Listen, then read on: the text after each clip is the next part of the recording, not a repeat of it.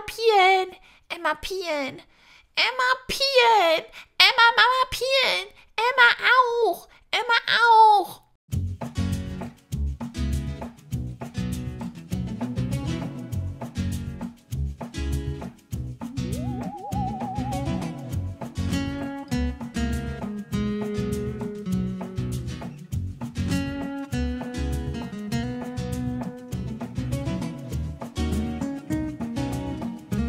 Ach, Clara, du glaubst gar nicht, was gerade passiert ist.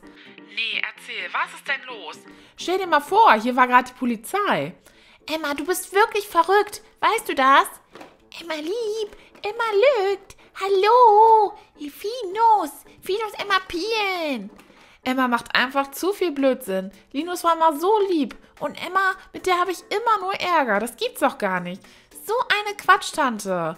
Ach, Gott sei Dank waren die beiden Polizistinnen so nett. Wie, ihr habt sie nicht mitgebracht? Ich hab doch gesagt, ihr sollt sie mitbringen. Kann bitte einer mal ans Telefon gehen? Na gut, dann gehe ich. Äh, ja, hallo, hallo, äh, hallo, Herr Bernhard, hören Sie mich? Haben Sie nur endlich Neuigkeiten für mich? Äh, tut mir leid, äh, hier spricht Friedrich und Herr Bernhard hat gerade keine Zeit. Na, sowas. Er soll mich den Bürgermeister sofort anrufen. Sonst kann er sich nämlich mal bald einen neuen Job suchen. Chef, das ist ein Kleinkind. Wir können doch kein Kleinkind verhaften. Ach, so ein Käse. Nimmt mich überhaupt hier jemand ernst? Ich habe gesagt, ihr sollt sie herbringen. Ich verhafte doch kein Kleinkind. Sie können ja hinfahren und das machen. Ich bin raus. Ich mach das nicht.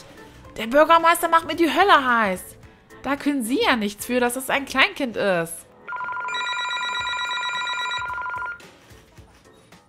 Oh Mann, wie soll man sich heute so konzentrieren, wenn die ganze Zeit nur das Telefon klingelt? Jetzt geht doch mal bitte jemand dran. Äh, ja, äh, Herr Bürgermeister? Haben Sie den Schuft nun endlich? Ähm, ja, also, um ehrlich zu sein, äh, ja, ich meine nein. Ich wusste es, dass es ein Fehler war, Sie als Polizeichef zu nehmen. Entweder haben Sie in zwei Stunden die Person hinter Gittern oder Sie können sich einen neuen Job suchen. Oh Mann, ey, tolle Wolle, was mache ich denn jetzt?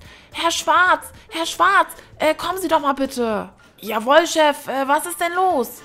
Wir beiden, wir beiden, wir gehen jetzt los und müssen eine Verhaftung vornehmen. Es könnte aber sehr unangenehm werden. Sind Sie dabei? Ich kann mich doch auf Sie verlassen, oder? Jawohl, Chef. Äh, gut, dann mal los. Der spinnt doch.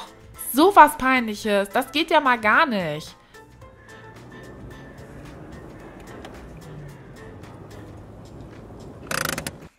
Da wären wir doch schon. So, Herr Schwarz, wir gehen schnell rein und kommen schnell wieder raus. Ich werd verrückt. Schon wieder Polizei. Sollen wir das Haus umstellen, Chef? Nein, sind Sie denn des Wahnsinns, Herr Schwarz? Wir klingeln erstmal. So wie ganz normale Menschen auch.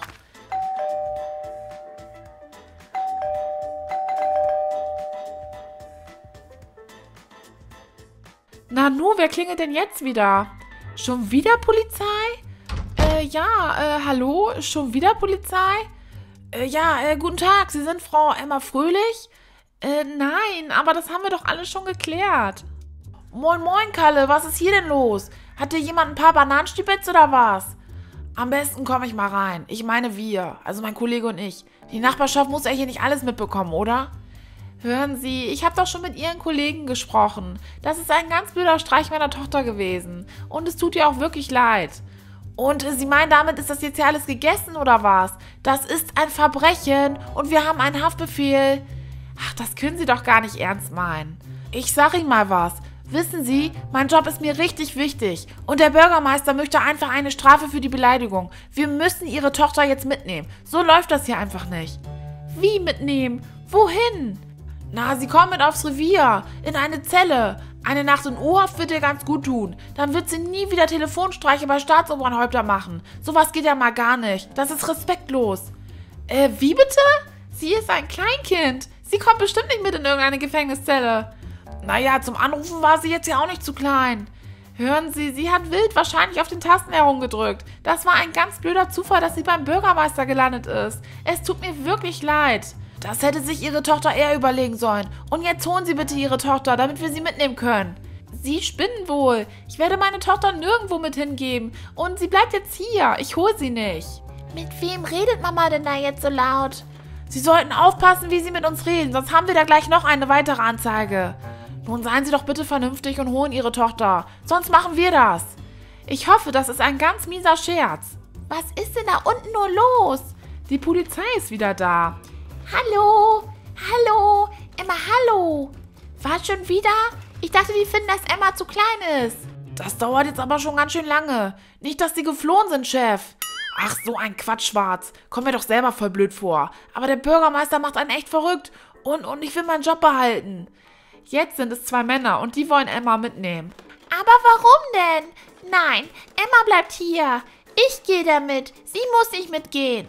Emma, Emma hier. Emma Vampir. Emma Hübs.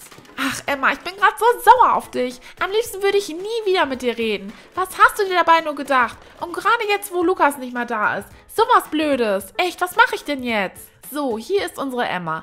Emma, vielleicht sagst du mal Hallo, damit die Herren merken, dass du noch ziemlich klein bist. Hallo, hallo. Also, meine Herren, wie Sie sehen, ist unsere Emma noch wirklich viel zu klein, um verhaftet zu werden. Das müssen Sie doch jetzt auch einsehen. Und langsam werde ich echt sauer. Meine Schwester macht zwar viel Blödsinn, aber sie ist doch kein Ganove oder ein Schurke oder ein Pirat, der hinter Gittern muss. Also das geht nicht. Dann gehe ich für sie. Sie ist noch viel zu klein fürs Gefängnis. Aber sie ist ja auch nicht zu klein gewesen, um den Bürgermeister anzurufen und zu beleidigen. Genau, äh, daher kommt sie jetzt auch mit. Aber wohin wollen Sie Emma denn jetzt mitnehmen? Na, mit zur Polizei. Dann ist der Bürgermeister zufrieden, ich kann meinen Job behalten und Emma denkt mal drüber nach, wo sie anruft. Was? Das können Sie doch nicht machen. Meine Schwester ist doch kein böser Verbrecher. Das geht doch nicht. Sie hat bestimmt Angst im Gefängnis. Emma mit. Emma lieb. Gut, äh, dann wollen wir mal. Emma Vampir. Emma hitzlig. Emma hitzlig. Mensch, Kollege Schwarz, nicht so doll. Verstehen Sie doch, Frau Fröhlich, der Bürgermeister macht mich schon seit ein paar Tagen verrückt wegen dieser Sache. Und ich mag meinen Job, ich möchte ihn wirklich behalten. Aber deshalb müssen Sie Emma doch nicht mit Handschellen abführen. Sie ist doch kein Mörder oder ein Verbrecher. Sie hat niemand etwas getan. Der Bürgermeister hat sie doch nicht mehr alle.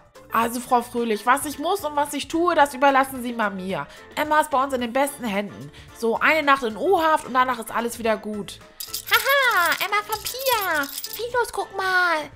Bitte tun Sie meiner Schwester nicht weh. Wirklich, ich komme gerne für Sie mit. Ach, das tut nicht weh. Ich bin wirklich fassungslos. Bitte nehmen Sie mich mit. Ich rufe nur kurz meine Mutter an und sage ihr, dass ich jetzt mitkomme. Aber ich kann die Kinder hier nicht alleine lassen. So läuft das nicht. Sie sind ja nicht der Täter. Oder sind Sie Frau Emma Fröhlich? Ich habe Sie extra am Anfang gefragt. Aber Emma ist doch kein Verbrecher. Sie ist doch manchmal ein bisschen frech. Aber sie ist kein Verbrecher. So, dann komm mal mit ins Auto. Sophia, was ist denn nur hier los? Ach, ich weiß gerade gar nicht, was ich sagen soll. Ich bin so sauer. Emma wird gerade verhaftet. Und eigentlich hört es sich witzig an, aber es ist eigentlich total traurig. Oh Mann, ey, Emma, was hast du nur gemacht? Emma wird verhaftet, weil sie angeblich beim Bürgermeister angerufen hat und ihn beleidigt hat, obwohl Emma keine bösen Worte sprechen kann. Das musst du dir mal reinziehen, Kalle. Äh, hast du schon Lukas angerufen? Wo steckt er denn? Ach, Lukas ist wie immer nicht da, wenn man ihn braucht. Er ist auf Geschäftsreise. Kalle, kannst du mir bitte einen Gefallen tun? Kannst du Linus zu Erna und Willi bringen und Bescheid sagen, dass sie bitte sofort einen Anwalt kontaktieren sollen? Äh, ja, natürlich, Sophia, das mache ich.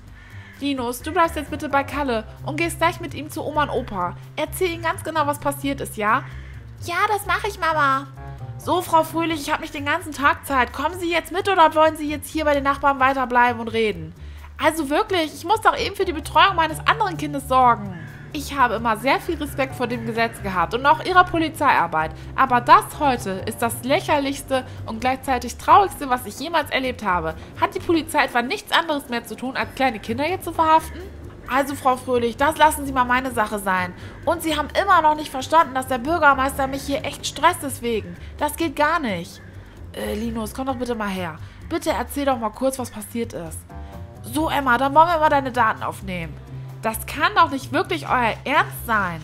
Ach Mensch, Frau Marx, ich kann doch auch nichts dafür. Ich will meinen Job behalten. Einfach nur lächerlich, Herr Bernhard.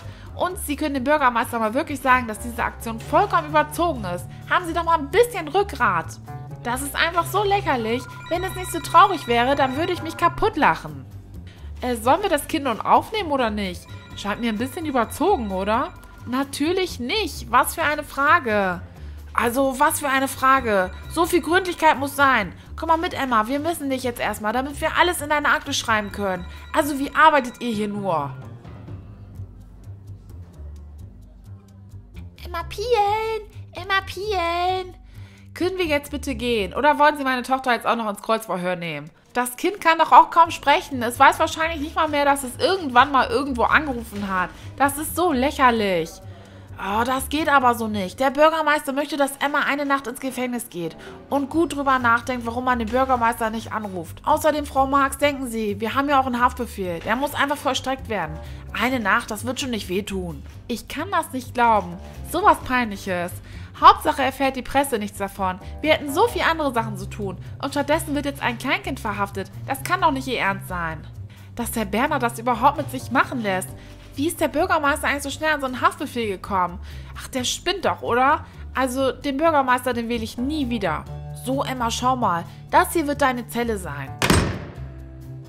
Dann komm doch mal her, Emma. An den Tischketten müssen wir sie wohl eher nicht, oder? Sie spinnen wohl. Meine Tochter ist doch nicht gefährlich. Also wirklich, es reicht jetzt. Hallo, hallo Mama. Emma, komm pielen. Kann ich dann wenigstens mit ihr in die Zelle?